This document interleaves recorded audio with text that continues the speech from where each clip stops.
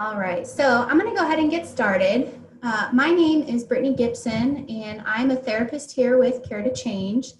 I am a licensed clinical social worker, and I've been practicing in the field for about eight years now. Um, and I've worked uh, a lot with um, addictive behaviors in general, a lot with depression and anxiety, and um, kind of the severe mental illness track. Uh, so what I want to talk to about today is just a different behavior, different addictive behaviors during COVID. Talking about lots of different things. You know, we, we, we hear addiction, we think substance use. That tends to be where our mind goes. But what I also want to kind of put in this category is also emotional eating, shopping, um, destructive behaviors, or what we like to call maladaptive behaviors away from where you want to be, uh, that take away from your goals. Um, also, during this time, we're seeing that behaviors that maybe you have dealt with in the past, um, that you had coped with successfully and you were doing well, right now they're kind of creeping back up on us. Um, and all of these um, cause uh, and all of these are changing the way that we're coping and we're reverting back to some old ways. Um, and right now, this time can be very challenging for a lot of different reasons um, and what we consider a high risk time. Not just for people that have past addictive behaviors, but also can be high risk due to um, for future addictive behaviors um, based on how we deal with right now. Um, so right now, you know, we're going through kind of this uncertainty and stress with the global pandemic you know, we're spending a lot of time in quarantine, and this can take a serious mental toll um, for anybody. And so, part of that reason for this impact and for the quarantine is it's had three key elements on our mental health and things that it's taken away from us.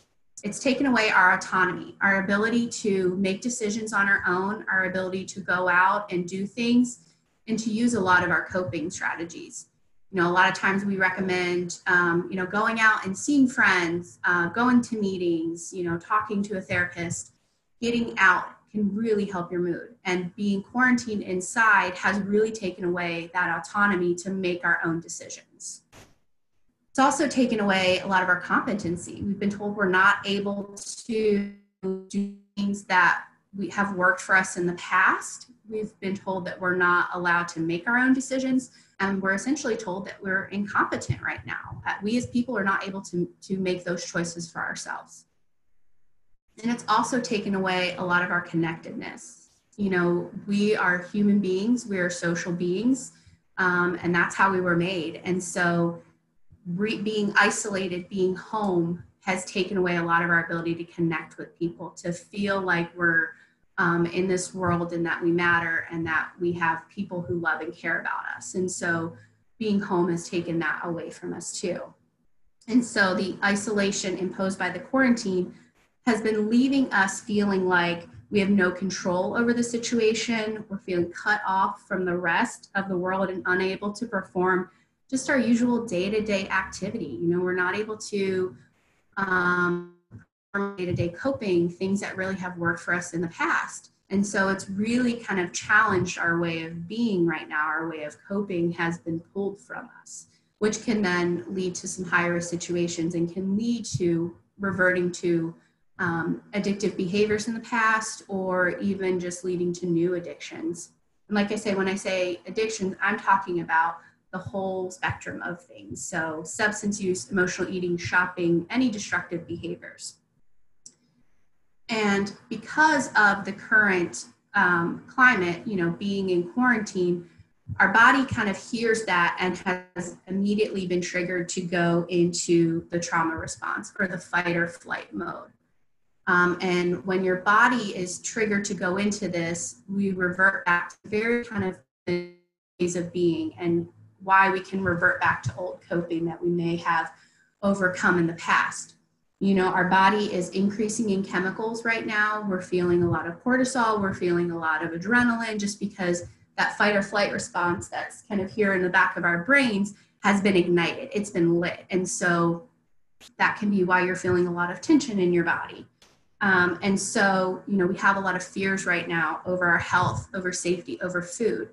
You know, our basic um, needs are being called into question right now, which is why we are also kind of reverting back or kind of feeling like we need to be in, in crisis mode or feeling like we need to kind of use things to help us cope. Um, and it's also bringing up a lot of old trauma for people too. You know, things in the past, maybe when we, um, you know, didn't have food period of time in our life, or when we didn't have housing, or when we had to be isolated. It's triggering a lot of things for us, which then brings up old habits and old coping. Um, so when we have something like this that's happened, that's taken away our autonomy, our competency, our connectedness, you know, we're reverting back to a crisis response, to a trauma response, which then can lead to addictions or coping in ways that are going to give us instant gratification, that are going to instantly make us feel better. Um, so there's a lot of, you know, warning signs to be on the lookout for something like this. Um, you know, if you're struggling with an addiction in the past or you're currently struggling now, there's have led up to where you are right now, um, and that should be continued to kind of monitored as we we move through the pandemic and move through the quarantine. Um, a lot of rage, so sudden and angry outbursts, trouble just controlling your emotions in general. Um, you know, a lot of times when we we feel that stress, we feel that crisis response, feel it in our chest, we could feel it in our stomach, um, and we need to get that energy out some way. And so, you know, those are some warning signs. Um, excessive um, rumination or just racing thoughts, unable to turn your mind off. You know, if you're having trouble sleeping at night, um, those are all kind of high risk and warning signs um, that, you know, could let us know that, you know, maybe not right. Maybe we're kind of struggling a little more than we thought we were. Um, chronic negativity, feeling like, um, you know nothing's going right for you. Um, you know maybe you've lost your job or you're furloughed or you have to file for unemployment. Again a lot of basic needs um, may not be being met right now which can lead to feeling very um, negative. Uh, we can also have anxiety self-harming um, excessive guilt crying you know just feeling low mood feeling unmotivated to get out of bed or even just unmotivated to get dressed. You know, with um, being home a lot, we don't have the obligations of getting up and going to work, some of us. And so that could lead us to falling out of a routine. Be a lot of shame, um, you know, a lot of um, issues related to, to body. Um, if you struggle with emotional eating, that could lead to more body imaging issues. Um, and also kind of looking for changes in um, sleeping habits, changing in eating habits, um, is- isolating even further. You know, if you have people that are trying to reach out to you and you're kind of turning your phone off or you're not wanting to to talk to other people, um, all of those things are kind of leading up to something bigger. Could be leading up to a relapse or kind of leading up to um, reverting to our old behavior, what we know best. Um, you know, we are people of habit too, and so if our habit had been cope a different way. That's what we're going to revert back to in this time, um, which is why it's super important to kind of think about other ways to cope right now, um, other resources, other ways of um, reaching out to people to get back those three things that we that I had mentioned. You know, ways to try to get back our autonomy, our um, connectedness, and our competency. You know, those are three things that we are missing right now in our life, and so we need to do what we can to try to get that back, to feel like we are taking control back. Um, and so, right now, you know, we need community and accountability. if you're struggling with any type of substance use or addiction, community is super important. You know, feeling like you're not alone in this. Addiction is the disease of isolation. You know, our addictions can tell us that we're alone and it can lead us to feeling shame and guilt. And so, even more so, we need to do some opposite action to reach out to people to, um, you know, get that sense of community. Reaching out to a sponsor, to a pastor, or a trusted friend in any way possible. That to feel that sense of community, to feel that sense of connectedness. Um, a lot of groups right now are meeting virtually through through Zoom, kind of what we're doing right now. uh, they're meeting this way so that we can still feel a sense of connectedness so that we can know that this you know this person that i'm talking with they care about me and they want me to reach out to them and so that we can help them do better help them cope with what they're going through uh, so like i said a sponsor a pastor a trusted friend um, alcoholics anonymous now has moved all of their meetings um, online through zoom and google hangouts What is really cool about this time is that we can try different groups that we may not have tried before. So if you're on the east side of town and you know you want to try a group on the west side, you know, if we're meeting on Google Hangouts or Zoom, we can try different groups to see um, you know what works best, or we can meet new people, um, expand our circle. Um, Celebrate Recovery is also meeting through Zoom, as well as Narcotics Anonymous, Smart Recovery, Life Recovery, all of those are now meeting online and you just go to their websites. They've made it pretty easy where you just go on their website um, type in where your zip code is and they'll pull up um, the links to get started um, the links to join and wh- how they're meeting and where as far as um, days and times also joining a small group at a local church can be another good way to feel connected right now and feel that sense of community um, they are also kind of meeting online. And so reaching out to local organizations, local churches, um, to be put into a small group where you can meet people who um, are kind of going through similar things as you, but also so that you can relate and um, get that connectedness back um, and that accountability that we may be missing right now. So that's kind of one need that and way to cope um, is to join any type of virtual online community right now, or even just reaching out to your community right now. Uh, right now is a great time to start any new project or hobby that you may have been thinking about in the past. You know, I, I know I've always said, oh, when I have time, I can do something like that. Now is that time. If you've wanted to uh, paint or um, take up woodworking or any type of hobby, crocheting, now is a perfect time to do that. You know, we've got a little bit more time. Our activities might look a little bit different. So there's no way, better way to get out of your head and into something with your than with your hands. It adds value to your day. It makes you feel productive and joy. And those are wonderful emotions to be feeling right now. Um, to feeling like you're being productive and getting some joy out of our day to day. These will also reduce anxiety, depression, um, and kind of take you hopefully out of that high risk category. Um, so like I said, puzzles, woodworking, painting, gardening. Uh, we're starting to kind of get into some nice weather. And so gardening, yard work is another great kind of hobby to start working on right now. Um, it gives a sense of accomplishment, um, you know, especially if we're able to make things grow. Um, all of these things, you be able to do something with your hands can be a good distraction good hobby to get you working on right now. Um, so we also have exercise, another great way to kind of cope with maybe some anxiety or some um, stress that you're feeling in your body from that trauma response being triggered. Um, going for a walk. I know a lot of parks, um, their trails are still open, the state parks, um, kind of getting out that way, going on some hikes, going and sitting by some lakes, those can be really great ways to kind of get out in nature and kind of help cope. Movement is another great tool in recovery. Um, you know, getting, getting you know, um, kind of the blood flowing can release a lot of really good chemicals and help you feel really great. So being as active as possible right now, trying to get out at least once a day just to kind of walk, enjoy things.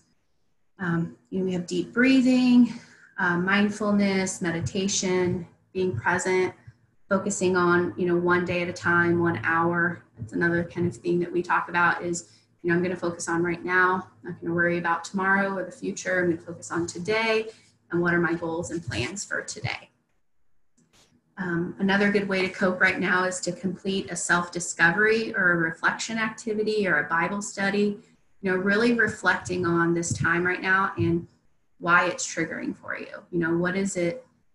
What responses is it bringing up for you? What memories? What thoughts? Um, and so, really trying to um, put into play what's going on for you in your mind. Uh, there's a lot of great Bible studies, um, self discovery activities. Uh, Try Softer is a really good one. um, it's not supposed to be this way, or detours are all really great ways to kind of um, just learn more about yourself right now um, and trying to come out of, of, of this time stronger, more knowledgeable, more insight into your being. Another great way is to challenge your thoughts and challenge your behaviors. A little bit off of the, you know, the self-reflection is you know, looking at your thoughts, asking yourself, what am I thinking? What is triggering for me? You know, this behavior, what does this say about me? Um, you know, and asking yourself, is this thought I'm feeling of hopelessness or isolation, is that rational or is it the situation? Is it, you know, me feeling isolated? And if that's the case, then let's reach out to somebody. Let's, you know, call a friend, call a community member, small group, you know, really challenging that thought process. Um, could your thought be distorted? Um, is, is your depression or anxiety or your addiction telling you something that may not be true? Um, you know, identifying what you're feeling, understanding the difficult feelings that you're having right now, understanding that they're normal. Um, you know, we're all so allowing yourself to feel that emotion right now. It's okay. Um, allow yourself to be in that moment and then choosing a different behavior, choosing to um, cope in a more positive way um, and making that a conscious choice. Um, and again, it's okay to not be okay right now, but asking for help and communicating how you're feeling is the most important thing right now. Um, and finding that person that you trust to let them know, you know, if you may or may not be doing well. Um, another good way to cope right now is to take breaks from watching, reading, or listening to news stories uh, and this includes social media. You know, right now, our mind, being that it's triggered, you know, we're kind of in the fight or flight response. We're also taking in a lot of information on social media that may not be the healthiest. You know, we're taking in things that may or not may not be truthful. Um, it could be have a skewed perception, and so really trying to ask yourself, where is this information coming from? Is it coming from a trusted source that I would I would believe that I would recommend to a friend? um, or even just you know limiting it say you know what i'm going to allow you know an, a half hour in the morning and a half hour at night um, and just to kind of update myself because um, a lot of times if we sit on social media or sit reading the news can really change our perspective and it can change our mindset just you know where we may be doing really well and positive but it can take us to a more negative um, route and kind of down that rabbit hole where we feel hopeless. We feel like things aren't going to change. And so making the conscious choice and effort of, I'm going to stop social media today or I'm going to stop it for the week. Because I want to make an effort to change my perspective and to you know, look at things differently and be a little bit happy. Um, and so hearing about the pandemic repeatedly can be super upsetting. Uh, you know, personally, I've limited my social media intake just because you know the information people are posting may or may not be real and um, you know it leads me to feeling um, anxious about it. So i've made the decision i'm going to limit it right now and i think that that's okay. And anybody who wants to do that right now i think is a, is a good choice. Um, you know lastly too kind of take care of yourself take care of your body. You know one of the warning signs i mentioned was um, having trouble eating and sleeping. Um, and so if you're having trouble sleeping trying to establish good sleep habits, you know, turning off your phone, turning off the TV, maybe doing a, a relaxation or a mindfulness on um, YouTube as you're trying to fall asleep, taking deep breaths, stretching, using an app to kind of help walk you through some sort of guided meditation or guided imagery, eating healthy, well balanced meals. Um, that's going to, again, make you feel good about yourself, make you feel productive, make you feel joyful you know what you're putting in your mood and so making sure you're nourishing your body and taking care of yourself. Exercising regularly getting plenty of sleep um, you know and avoiding alcohol and drugs as much as you can. Um, and if you do feel like you're on the verge of a relapse or you know you're struggling making sure that you reach out to somebody um, whether that be a therapist or um, you know a sponsor pastor anybody who can help you get back on track or help you work through this really difficult time um, and i want to say too giving yourself grace and forgiveness right now as we're all kind of navigating through this. You know, let go of the day at the end of the day and saying, you know what, tomorrow's a new day and I'm going to start fresh and this is my plan and I'm going to work through it. Um, and again, starting anew each day.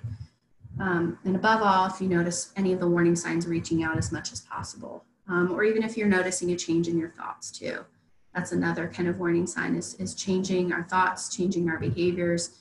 Um, there's things that leads up to a relapse. And so making sure that we can identify those so that we can prevent that and help you get through that. Um, know that Care to Change is here for you during this time.